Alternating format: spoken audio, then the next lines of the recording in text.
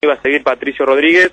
Eh, con el destino de Grecia y el jugador por ahí aguardando otra posibilidad de Brasil. Pero bueno, me acerco al técnico que gentilmente nos está esperando y, te pregunto por el caso. Eh, ya sabías, ¿no?, que Patricio Rodríguez no iba a seguir. ¿Cómo te va? Bueno, buenas tardes.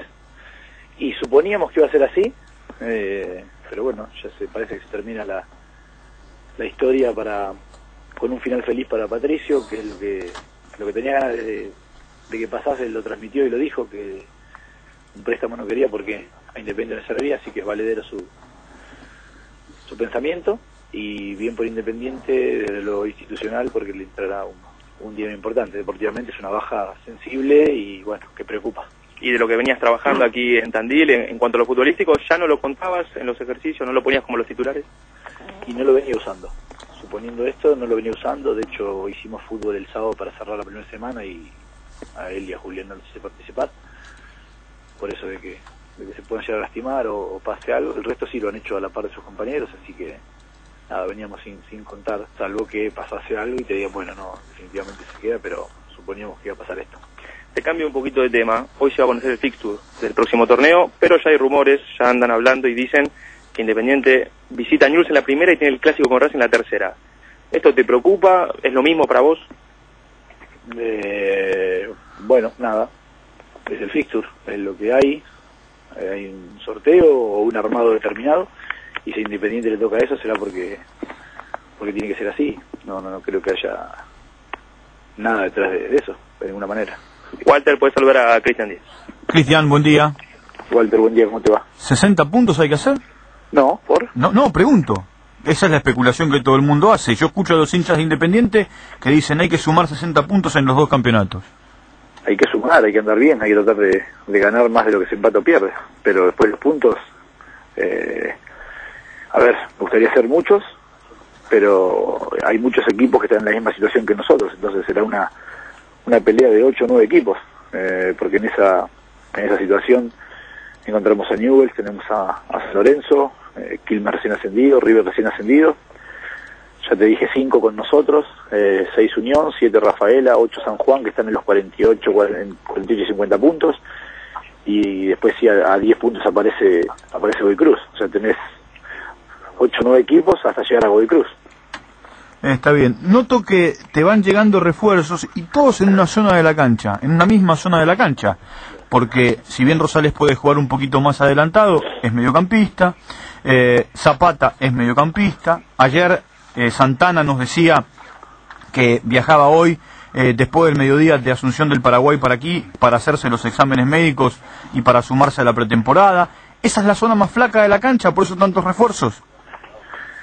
Tenemos una necesidad y el trabajo que se está haciendo es eh, realmente muy importante. La gente en Buenos Aires está moviéndose, no te digo desesperadamente, pero moviéndose con prisa y sin pausa para encontrar las soluciones a los problemas que tenemos. Eh, la mitad de la cancha necesitaba soluciones y las vamos encontrando, pero en defensa también necesitamos, y, la dirigencia lo sabe, necesitamos prácticamente uno por posición, sea, estamos necesitando como mínimo cuatro, cuatro defensores. Tenemos un solo lateral derecho, tenemos eh, la, ante la eventual partida de Julián nos está faltando un, un central eh, para tener cuatro sumando a Cáceres, o sea que necesitaríamos uno más eh, para tener cinco y cinco contando a, Samuel Cáceres que, que vino para, para pelear, para ir creciendo.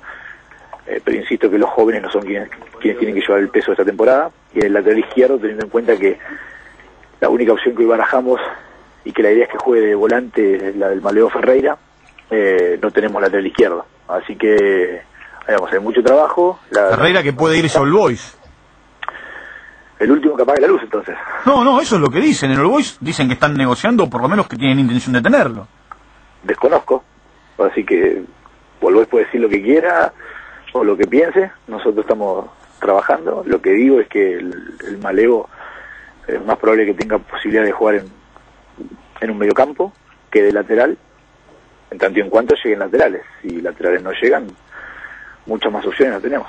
Cristian el Bambino, ¿cómo te va? Hola Bambino, ¿cómo estás? Todo muy bien. ¿Por qué elegiste a Paulo Rosales? Vos sabés que yo a ese chico lo hice debutar en Newell cuando era muy jovencito, muy jovencito. Y yo quería preguntarte ¿Por qué lo elegiste a Paulito Rosales? Pablo fue ofrecido al, al club en el inicio de, de las eh, negociaciones por incorporar jugadores y es un jugador que, que gustó. Eh, le gusta la dirigencia, me gusta a mí, le gustó también a, a Bocchini, que eso para el presidente es importante y, y, y suma. Eh, así que bueno, tiene gol, es un jugador que se desenvuelve como, como mediocampista ofensivo, también puede ser un segundo delantero, se recuesta sobre los costados. ¿Sabes Eh, cuál es la ofrece- máxima condición? Cristian, la máxima condición que tiene, A ver, siempre recibe libre. Siempre. Es tan inteligente para jugar que siempre recibe libre. Lo vas a ver, ¿no? Cuando lo conozca más a fondo en el transcurso de los entrenamientos. Él siempre está libre para recibir. Mira, la primera práctica que hicimos de fútbol, que fue, el, como decía, el sábado pasado, eh, utilizamos a, a, Fredes como un enganche y a Pablo y a, Farías arriba. Y lo que más eh, me gustó de, de- esa sociedad o, de esos jugadores es que se buscaron mucho. O sea, Pablo buscó mucho al Tecla y viceversa. De hecho, en el gol que termina haciendo Farías es una jugada que el Tecla juega con Pablo, Pablo al Tecla y, y el Tecla queda mano a mano. Entonces, eh, para mí es importante que los delanteros se busquen entre ellos. Sí, la pone bien entre líneas también, ¿eh? Es muy Cristian. Bueno, lo conocemos, no, no Sí, estoy sí. descubriendo nada Sí, y como decía antes, eh, es, es del gusto mío, es del gusto de la dirigencia, ha sido recomendado por, por Ricardo también, que eso para la gente del club es importante, así que bueno, esperamos que, que nos pueda ayudar y que, y que pueda rendir a pleno aquí en el club. Bueno, ahí están los dirigentes haciendo gestiones para buscar futbolistas. Hoy también a la mañana se conoció que Vallés podía, podía alejarse, ¿sabes algo de eso? Eh, no, desconozco. Se va a dejar sin equipo, Claro, Walter. yo, yo, Cristian. yo me levanto Pará, yo- Walter, yo, lo me, vas a dejar sin yo me- equipo. yo me levanto a la mañana y leo leo los diarios de la Argentina y también leo lo que pasa alrededor de la Argentina. Y si vos entras a los diarios de Guayaquil, dicen que es o Ferrari, ¿eh? el jugador que pasó por River y está en Central, o Vallés, que está en Independiente, el refuerzo que quiere Costas. bueno, eh, nada, Esperando, esperando. no tengo mucho para comentar acerca de eso. O sea, insisto, tenemos un plantel extremadamente corto y, y espero que no se acorte más. Estoy esperando que se alargue. Bueno, ojalá, ojalá. ¿Hasta, hasta cuándo se quedan por, por Tandil? Estábamos hasta el sábado 21 y ya el lunes retomamos los entrenamientos en Buenos Aires, que tenemos ahí un par de semanas eh, armadas, si Dios quiere, en el predio de AFA para, para después para, para iniciar el torneo. Abrazo grande, ¿eh? Chau. Un saludo, hasta luego.